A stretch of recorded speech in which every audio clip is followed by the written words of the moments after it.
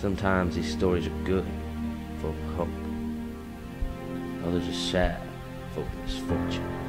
And then, then there's stories like mine. Stories so sick, so corrupt, so full of mistakes and evil, that even the mere utter of my past is enough to make the most villainous of people sick to their very core.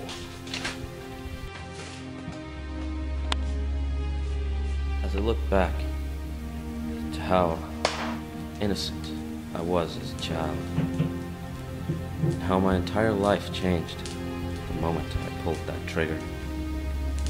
And for the very first time, I watched the pink mist slowly fly out of their chest. I still can't understand how things got this bad. I can't even look at my own mother in the eyes anymore. Can't trust anyone anymore. My life is total isolation. I have nobody.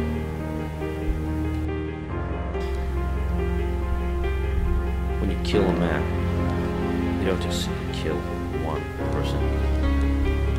You kill part of everyone that was ever close to him. Any friends, family, they all die. Just a little inside. In some cases, it even meant having to kill a young child's mother. Meaning they'd have to grow up without the most important person in their life. Words can't describe the pain I feel watching a young, helpless, innocent child, a child that never did anything wrong, cry because of mistakes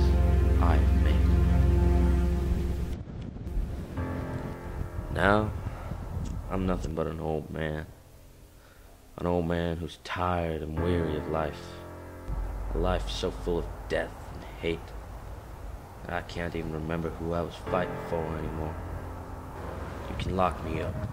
You can torture me. But in the end, that pain won't even scale to the comparison of what I feel inside. How much I regret each every one of my decisions. After years of trying to get out of the dirty job, I finally realized there's only one way out. One final kill. It's all over. It was so simple. All along. I don't know how I never realized it until now. There's only one way fix something as wrong as me. The only way I can ever try to show remorse for what I did. It's time. After all these years, it's finally time to be free. Free from this burden that has plagued me for years.